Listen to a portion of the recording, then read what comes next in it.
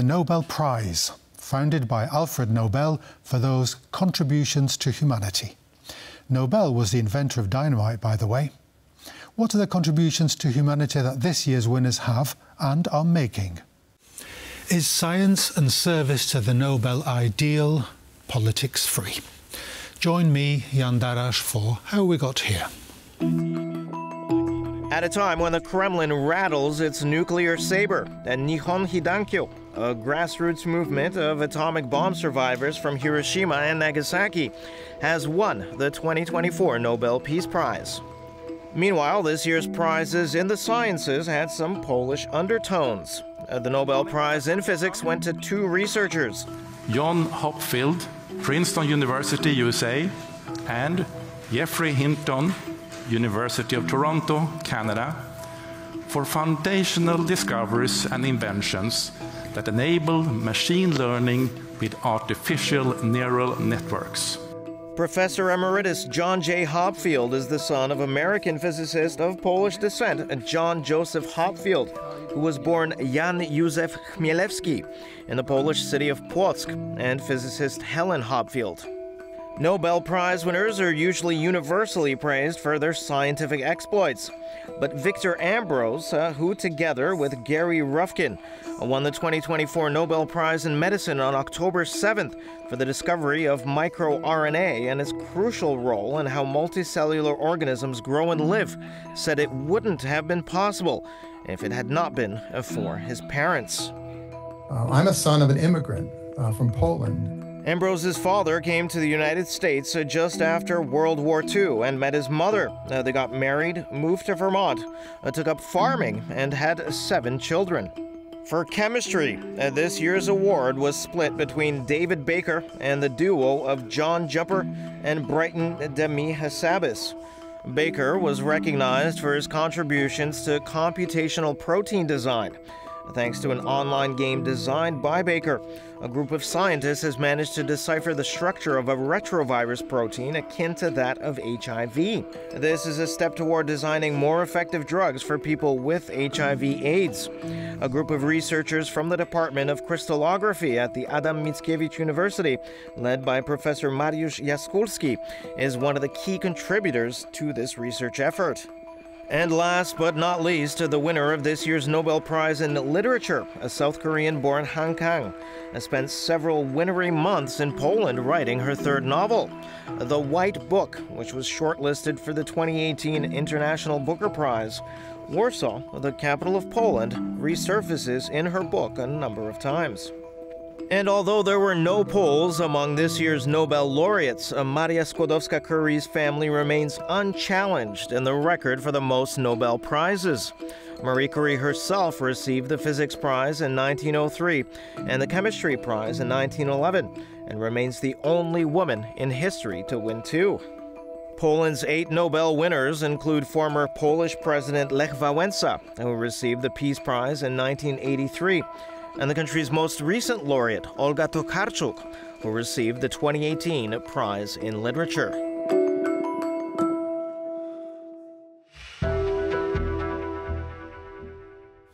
I'm joined today by Radosław Brzózka, a TV and science journalist. Welcome to the programme. Welcome, and thank you for having me here. Great to have you. Um, whenever someone mentions uh, physics, chemistry, maths, that sort of stuff, my eyes glaze over. So um, I'm, I'm, not an expert, but a very exciting crop of Nobel Prize winners. Um, can you just outline us what what was it about them that caught your attention?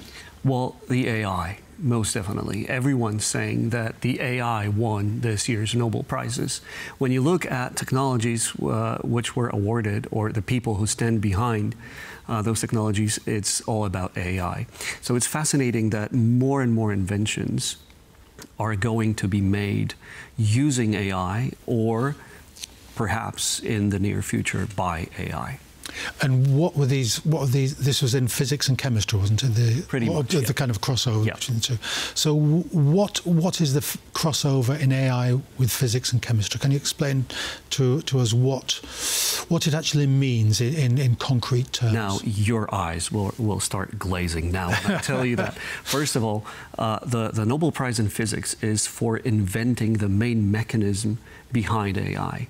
So um, if I, I'm also a programmer, I, I, I write programs, and the way you write programs is you write those very precise recipes which tell computers what to do step by step. And um, the, the, the input data must be very precise in order for those recipes to work in this very specific and precise pre programmed way. And the scientists, for many years, have been thinking if we could um, use some kind of a distorted data uh, to recall something from computer's memory, to say whether what we input resembles anything in that memory. This is how our memory works. Yes. We might have. You're reinventing the human brain, perhaps. uh, Pretty much. Th- this is what they did. Um, the Nobel Prize winners in, in physics, um, uh, Hopfield and Hinton, were actually researching the ways you can model human brain or the way human brain works inside of a computer. And this is how they came up with all, um, with, with the big range of algorithms, which we call now AI. And um, now you were asking what are the, the, the crossings with chemistry. AI was used to model proteins.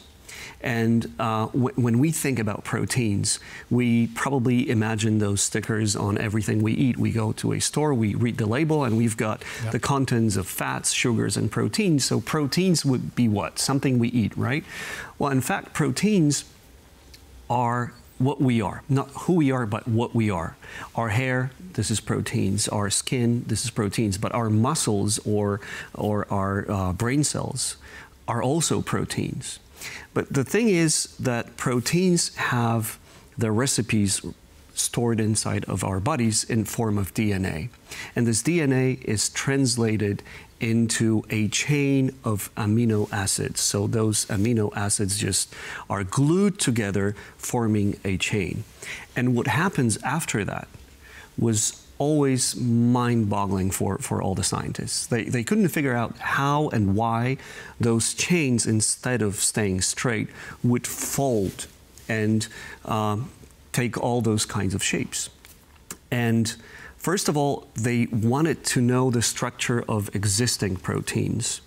So they would use many, many uh, different techniques. Most popular was X ray, but it, it took months to get a structure of a single protein. And uh, what, what happened in chemistry field was they actually created an AI algorithm or a set of AI algorithms which could simulate the way those chains would change their, their shapes. And this blew up the, the whole biochemistry world, and I can explain why. In, in Yeah, sure.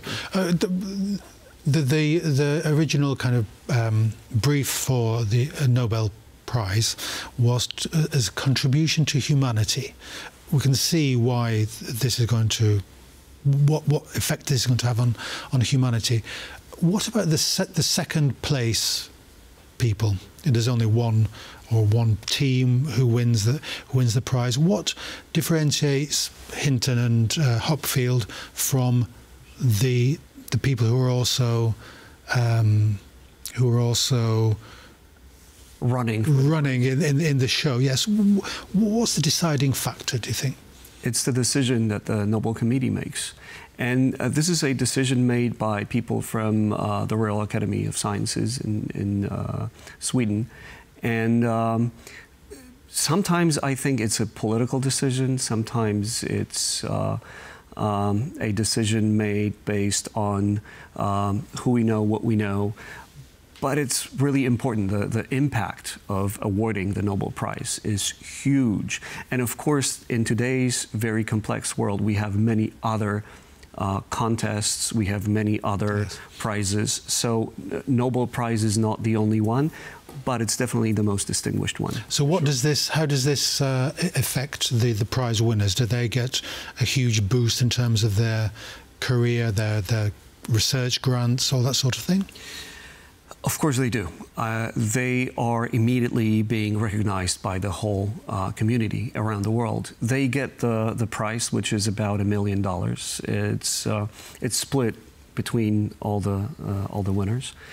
But the most important thing is that they get this kind of recognition, and wherever they go, they, they will be immediately uh, hired by any university uh, in the world will want to have them uh, on their uh, payroll. So uh, I think that's the most important thing. It's not the money, because the money today it's relatively small compared to yes, the amount millions, of grants. Yeah, seem to be a lot. It's, it's not a lot.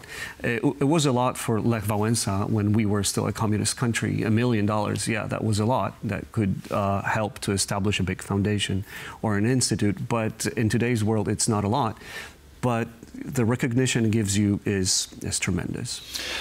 You, you're going to blow blow my world up by chemistry. So yes, tell us about that going back to what it really means to have a protein that we understand, um, the many scientific uh, or sci-fi movies were about injecting humans with small robots that would do things.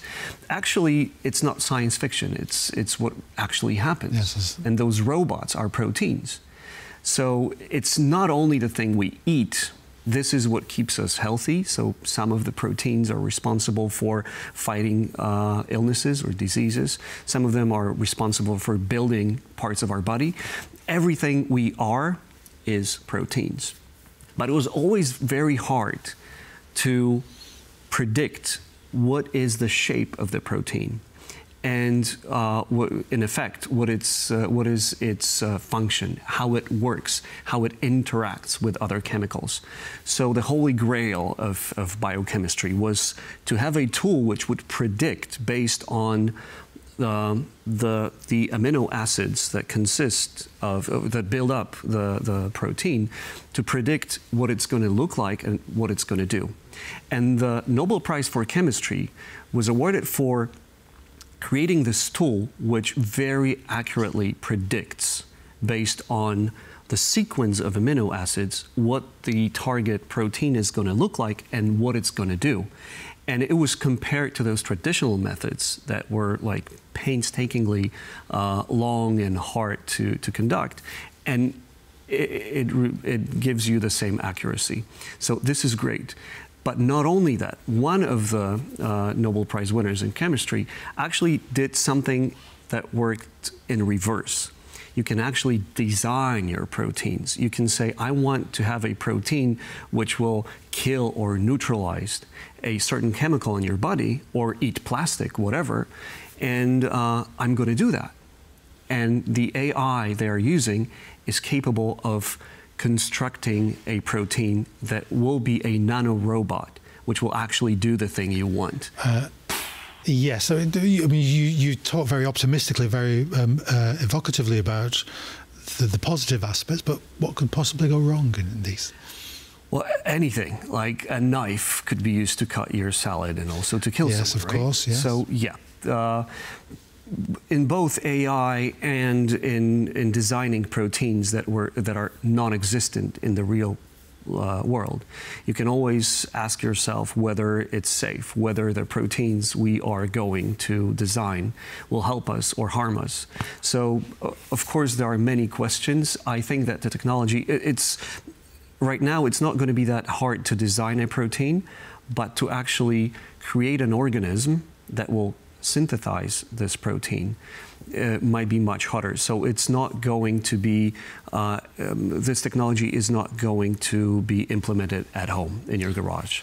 But yeah, it, it presents some threats. Yes, sure. uh, I agree that the knife can double-edged sword. Um, the we were talking before you came on air about the economics uh, prize. It's it's a it's a Nobel Prize, but it isn't a strict Nobel Prize. So you have these top three uh, fields of, of uh, research. Is that the way that the whole thing is structured? Do you, can you imagine that there's going to be a Nobel Prize in the future for AI or something? Which, is, is that going to change, or are these physics, chemistry, medicine set in stone almost? Pretty much, because this is what Alfred Nobel wanted. Uh, when he died in his will, he set up a foundation which was responsible for awarding those four uh, prizes, including the Peace Nobel Prize, which is um, handed over to the winner uh, in Oslo, in Norway. Uh, so we've got four Nobel Prizes, and the Nobel Prize in Economics is kind of a Nobel Prize, but not really. Uh, it was founded uh, almost half a century later by the Swedish National Bank to honor Alfred Nobel. So it's being uh, awarded at the same time and pretty much in the same place as all the other Nobel Prizes, but it's not a Nobel Prize per se. So what would you what would you add to the list if you were the Swedish National Bank? Uh, this, uh, actually, I, I, think that's enough. The, the, what we have is enough. Um, Alfred Nobel was a great entrepreneur. Uh, he um, developed many uh, discoveries, and most of, of them, the, the, most important of them was, of course, the dynamite. And probably seeing that the knife has two sides in, in terms of dynamite, in the case of dynamite, which could be used to, for mining, for example, but also for killing people, uh, he probably felt a little guilty, and this is why he set up this uh, this technology and science, life science Nobel Prize. There are many other prizes, and I think they will be more and more important. However, the, the discoveries within the life sciences um, area will have the most impact on our lives. Uh, final question to you, uh, Radosław. Uh, we're going to move away from the sciences, move into the Nobel Prizes for peace and literature. Are these more controversial? There are, there's always seems to be a, a political debate about who deserves what, who doesn't deserve, who's too left wing, who's too right wing. Um, in my time, uh, Henry Kissinger getting, getting the um, a satirist said Henry Kissinger getting the Nobel Peace, Prize was a sign that satire was dead. Um, so uh, th that seems to be a very um, field which the sciences don't have. Yes, you're right. Uh, it might be very controversial, controversial because um, much more people have an opinion on literature or politics. Uh, so there will be more debate and more controversy around that. Uh, in terms of science, it also brings up all those emotions, but in the scientific world, which we don't know that much. But believe me, scientists are also debating uh, hard over the verdicts of the committee. So, uh, yeah, it's always going to be controversial. Yeah. Um, we won't mention Maria Curie Skłodowska, yeah. we will now. so, twice winner, physics and chemistry. And in her family, there were three other uh, Nobel Prizes, which is crazy to have five Nobel Prizes in a single family. Uh, so yes, uh, first uh, first Nobel Prize she got with her husband, and that was for radioactivity. Um, then it was also for discovering uh, two elements, radium and polonium. Polonium called in the name of, of Poland, of course. And then she had her uh, daughter, who had a Nobel Prize with her husband, um, and that was for uh, further investigation investigation into radioactivity. And there were other members of the family who also yes. got Nobel prizes. This is yes, mind blowing. The High-powered family high achievers. Pretty much, pretty um, much. Radosław Brzózka, thank you very much. Thank you. And talking to us about the Nobel Prize. It was a pleasure, thank you. So that's all we have time for today. Keep watching us, uh, but do join us next time for How We Got Here.